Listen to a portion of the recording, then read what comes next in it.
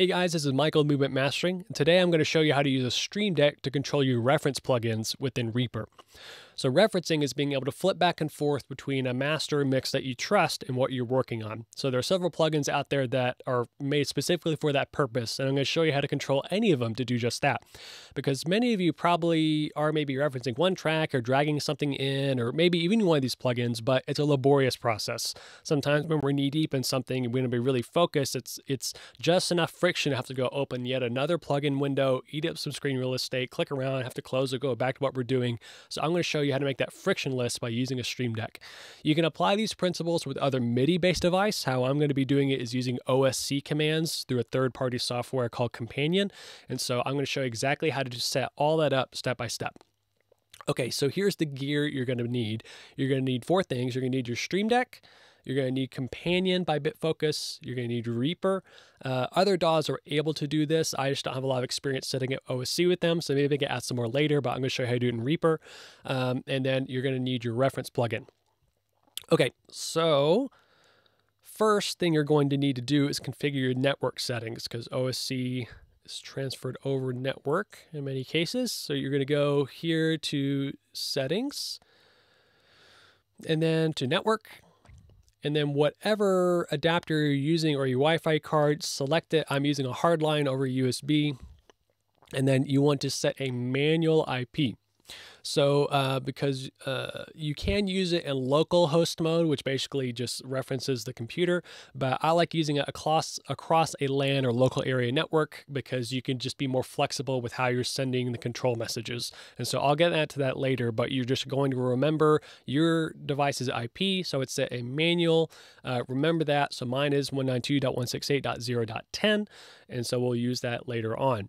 Okay, so uh, and the reason why you want it to be a manual IP instead of DHCP is because if you you know go to a coffee shop and come back, depending on your router settings, it could dish out a different IP to your computer when it hops back on the network than what it originally had, and that gets annoying. You have to go into Reaper, change settings, and match it to whatever you got dished out. So I would choose a static IP here.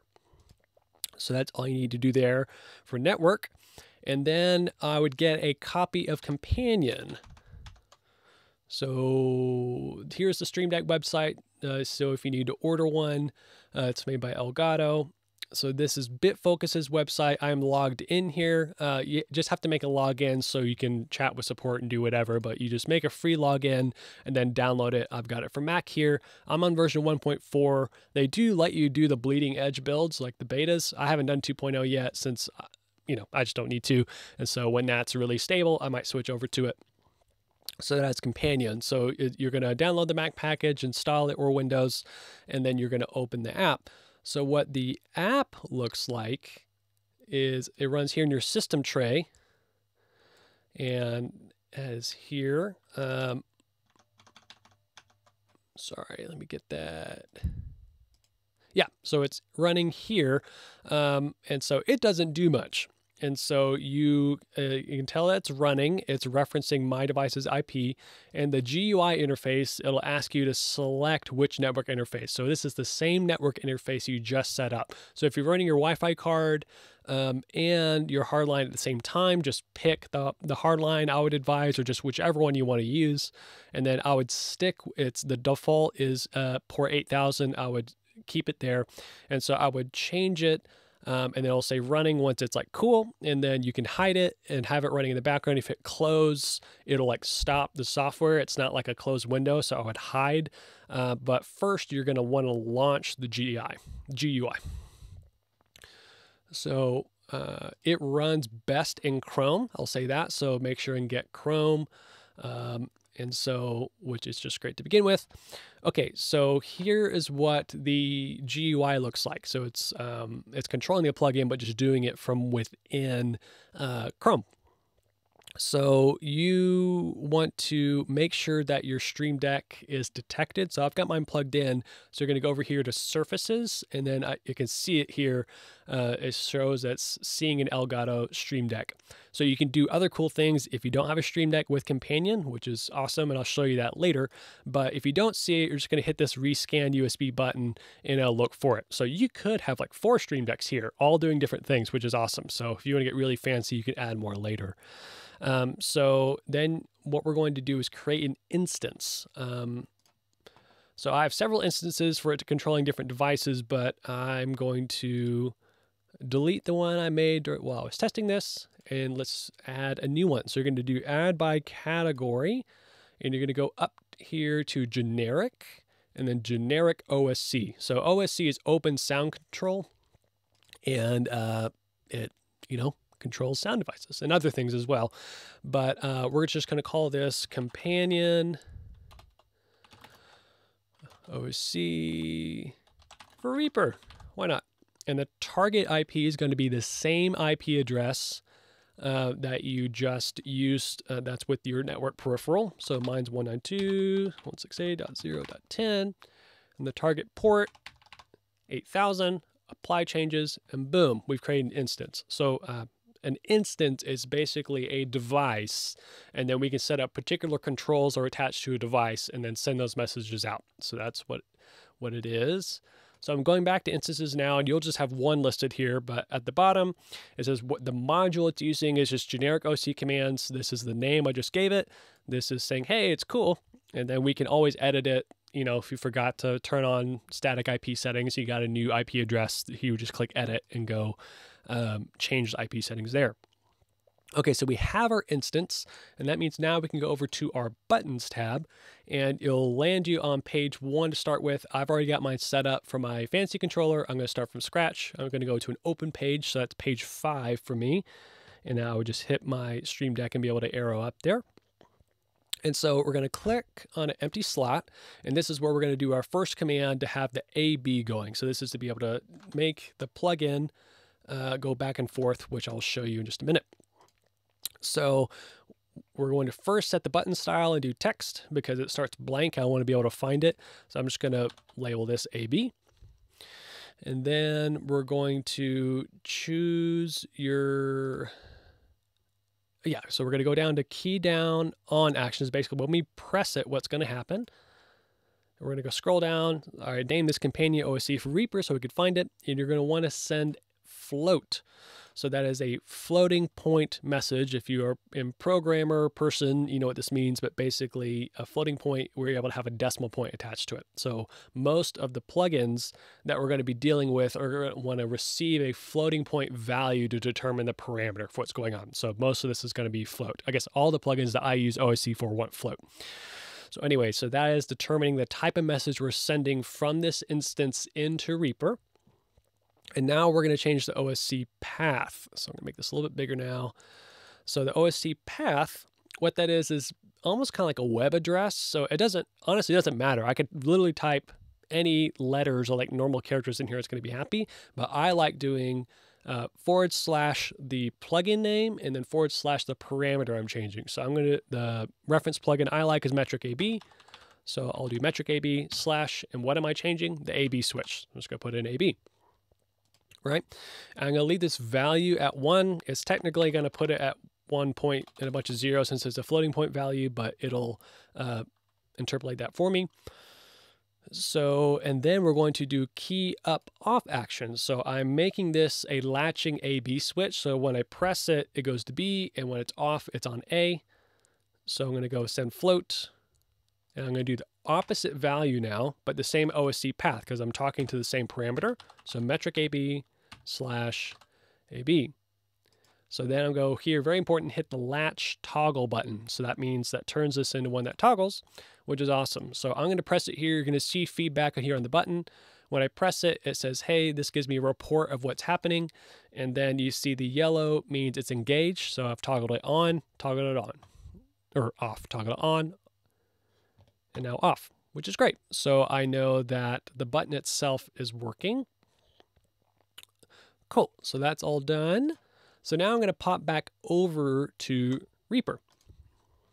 So I just have a single track loaded up here uh, and then empty uh, slot. So I'm going to now go to Reaper Preferences, scroll all the way down to control OSC slash web. So this is my normal setup. I'm just going to add another.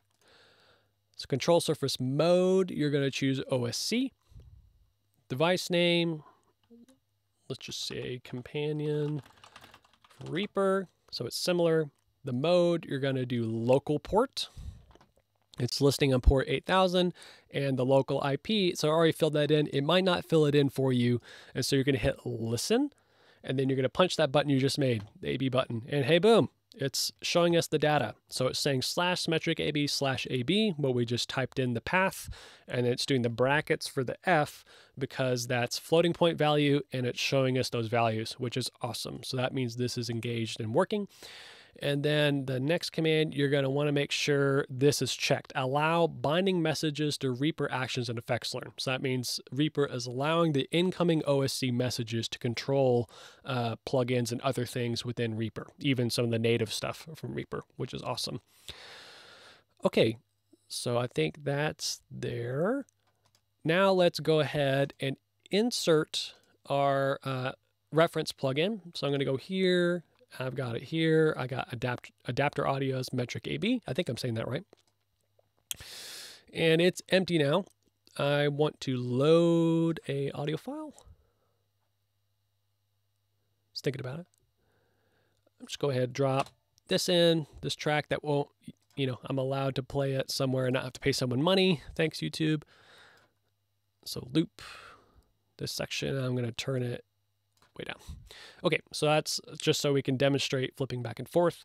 And now all I'm going to do is go here to parameter, effects parameter, uh, effects parameter list, learn, and then your reference plugin, depending on what you're using, is just going to give you a different set of things you can control. I know in the reference by um, mastering the mix only has two things you can change. Last time I checked, and that's the AB switch and then the wet track, which are the two things we're going to learn how to control. So I'm going to go here to AB switch. And then here it's going to want a MIDI message or OSC. So you can do this with like, you know, a little Korg Nano controller or whatever little MIDI controller you have. You can have, have a knob that can sweep through your tracks, which is cool, or just a button that toggles for off on. Again, this is about a Stream Deck, so we're going to keep moving forward with that. So now I'm going to hit AB and it has learned it. So no, that has these check boxes of like when I only have the plugin window up, should it listen to the command? I like all these unchecked so I can have it hidden. I don't have to select it. I just hit the button and it does its job. So right now, the metric AB uh, is this OSC command I'm triggering from my Stream Deck over Companion is sending it into Reaper. Now I'm using Reaper to map that command to this specific plugin. So I'm hitting OK and it works. So we can see here now the AB, the blue button means it's on A and orange means it's on B. And then I can confirm that in Companion that I'm hitting back and forth. That's what's going on. Another neat feature in Companion is let's say you lost your Stream Deck, but you want to do some changes or you just don't have one. You just go here, hit Shift and test stuff and it'll go back and forth, which is super neat.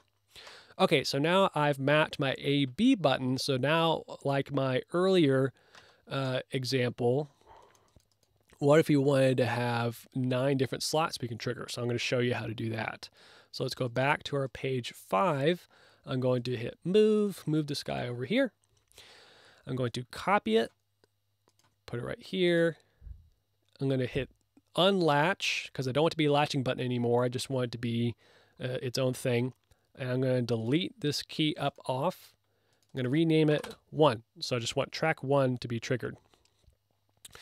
So then now I want my OSC path to be similar. It's going to be slash metric AB, just keep it organized. But now instead of it being AB, I want to trigger the track select. So I'm going to just do track select. And the value I'm going to put zero because uh, most plugins like their least most or leftmost rotation or whatever uh, is going to be zero. And the biggest value that parameter can go is usually going to be one. So if the track one um, out of 20 uh, is going to start with zero, then gradually scale up to 20. Uh, specifically with this plugin. If you have, you know, I used to use Sample Magic's Magic AB and it was only nine slots, so I had to scale that accordingly. So I'm going to show you, make sure this works. I'm going to show you another spreadsheet that I made that's going to make this easier for you to figure out. So now let's go to Reaper. Now we're going to go to Parameters, Effects Parameter List, learn, and this is selected track is the parameter it wants to get data from to change the selected track. So now I'm gonna, it, now it's remembered that, or it has now accepted that. I'm gonna hit okay. So I'm gonna select this slot, hit my number one, and boom, now I went back, here. So it's like the slot here, number one. Okay, so now what we need to do is go back to buttons and basically copy this around and just change the value between zero and one to have it correspond and make the plugin pull up a specific slot we want. So that's kind of hard to figure out, or you just kind of have to guess at a value and see which one it pulls up. But I've made a handy dandy calculator for you. And so basically you can say how many reference slots do you have in the plugin? So this is, or I think I misspoke earlier. Met- Metric AB has 16, uh, reference has 20. So if I was using that plugin, I hit 20, and this would give you all 20 values you need to put in for this slot. So let's just put 16 so I can keep going with metric AB. So I've already put in zero for uh, metric AB. Now I'm going to go to two. I'm going to copy that value. And I'm going to go back to companion. I'm going to copy this button here, change the button text to two, keep the same OSC path. I'm just going to change the value now, paste in this value, and go back to buttons go back to Reaper, and now I have the first slot selected. Now I'm going to hit the button two. Now my second slot is selected. So I'm going to do this one more time just so you're getting the hang of it. So copy two to three, button text three, go back to my spreadsheet, the slot number one, two, three, copy this float value, and then put that here. Go back to Reaper and confirm it. So one, two, three. And then let's say you don't have a Stream Deck, you could always test that by going here, shift one, two, three. Okay, now look at my notes real quick to see if I missed anything. Oh yeah, here we go. So for those of you again who don't have a Stream Deck, you can use Companion, have this running in the background. Again, on the surfaces, it can look for your Stream Deck, but it doesn't have to have it. But you can do this thing called the emulator, and that is going to pop up these pages, you can have this running as a separate page and click around and it'll do it. So I'm going to break this off here, put it in Reaper, and I can see how each of these slots are changing just by using the web emulator. So what that means, and again, this is why I advocate that you use um, not the local host, but the LAN settings, is that I've got, let me switch this over here. Whoop. Sorry, folks. I've got an iPad here with my settings.